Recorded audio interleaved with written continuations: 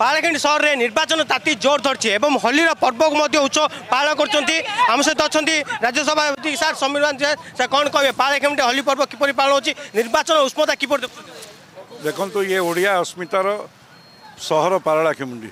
ଆଜି ଏ ସହରରେ ମୁଁ ଭାରତୀୟ ଜନତା ପାର୍ଟିର ବିଧାୟକ କି ନାରାୟଣ ରାଓ ଆମର ଜିଲ୍ଲାର ସଭାପତି ଏବଂ ଚେୟାରମ୍ୟାନ୍ର ପ୍ରାର୍ଥୀ ରାଜେଶ୍ୱରୀ ଅପା ତାଙ୍କ ସହିତ ଷୋହଳ ଜଣ କାଉନସିଲର ପ୍ରାର୍ଥୀ ଆମର ସମସ୍ତ ନେତାମାନେ ତିରୁପତି ଭାଇଠୁ ଆରମ୍ଭ କରି ଅନେକ କାର୍ଯ୍ୟକର୍ତ୍ତା ତାଙ୍କ ଗହଣରେ ମୁଁ ଏ ମର୍ଯ୍ୟାଦା ସମ୍ପନ୍ନ ସଂସ୍କୃତି ସମ୍ପନ୍ନ ସହରରେ ଏ ହୋଲି ପାଳନ ମୋ ପକ୍ଷରେ ଅଭୁଲା ସ୍ମୃତି ହେଇ ରହିବ। ଆଉ ବିଶେଷ କରି ଏ ବାଇକ୍ ଚାଳ ମାଧ୍ୟମରେ ମୁଁ ଯେତେବେଳେ ସହର ପୁରା ପରିକ୍ରମା କରୁଛି ମୁଁ ଦେଖୁଛି ଯେଉଁଥିରେ ପ୍ରଧାନମନ୍ତ୍ରୀ ନରେନ୍ଦ୍ର ମୋଦି ଏବଂ ବିଜେପି ସରକାରର ଯେଉଁ ସହର ଆଭିମୁଖୀ ଯୋଜନା ଗୁଡ଼ିକ ଯେଉଁ ନୂଆ ଭାରତ ବର୍ଷର ସହର କିଭଳି ହେବ ତାକୁ ନେଇ ଯେଉଁ ଯୋଜନା ସେ ଆପଣଙ୍କର ସହର ସୁନ୍ଦରୀକରଣର ଯୋଜନା ହେଉ ପିଇବା ପାଣିର କଥା ହେଉ ଗରିବ ଲୋକଙ୍କୁ ପ୍ରଧାନମନ୍ତ୍ରୀ ସହରୀ ଆବାସ ଯୋଜନା ତିନି ଲକ୍ଷ ଟଙ୍କାର ଘର ହେଉ ଏସବୁ କଥା ପ୍ରଦାନ କଲାବେଳେ କିନ୍ତୁ ଦୁଃଖ ପରିତାପର ବିଷୟ ଇଏ ପାରଳାଖେମୁଣ୍ଡି ଜନତାଙ୍କ ପାଖରେ ପହଞ୍ଚି ପାରିନି। ଅନେକ ଘର ମଧ୍ୟ ଆଜି ଆବଶ୍ୟକ ଅଛି ସହରୀ ଆବାସ ଯୋଜନାର।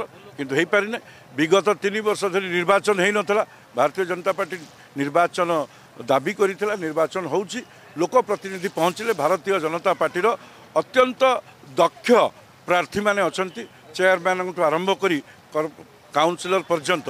ଏ ଦକ୍ଷତା ଅଛି ଯୁବ ପ୍ରାର୍ଥୀ ଅଛନ୍ତି ପାରଳାଖେମୁଣ୍ଡିବାସୀଙ୍କର ନିଶ୍ଚିତ ସେବା କରିବେ। ଆଉ ମର୍ଯ୍ୟାଦା ସମ୍ପନ୍ନ ସହର ଓଡ଼ିଶାର ତାକୁ କେଉଁଠି ନା କେଉଁଠି ଦୀର୍ଘ ଦିନର ସରକାର କେଉଁଠି ନା କେଉଁଠି ଅଣଦେଖା କରିଥିବାର ମୋତେ ପରିଲକ୍ଷିତ ହେଉଛି। ନିଶ୍ଚିତ ଭାବରେ ଆମ ସହିତ ପାଳଖଣ୍ଡି ବିଧାୟକ ମଧ୍ୟ ଅଛନ୍ତି। କ'ଣ କହିବେ ସାର୍? ଲୋକମାନେ କିପରି କ୍ୟାମ୍ପେନିଂ କେମିତି ହେଉଛି କ'ଣ କହିବେ ଆଜି?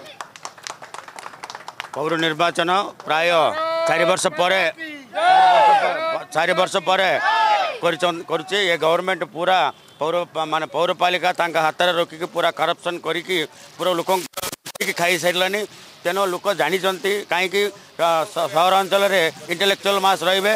ତେଣୁ ନିଶ୍ଚିତ ଭାବରେ ଇଏ କେତେ ଲୁଟିକି ଖାଇଛି ଏ ଗଭର୍ଣ୍ଣମେଣ୍ଟ ପ୍ରତ୍ୟେକ ସହରାଞ୍ଚଳରେ ଜାଣିଛନ୍ତି।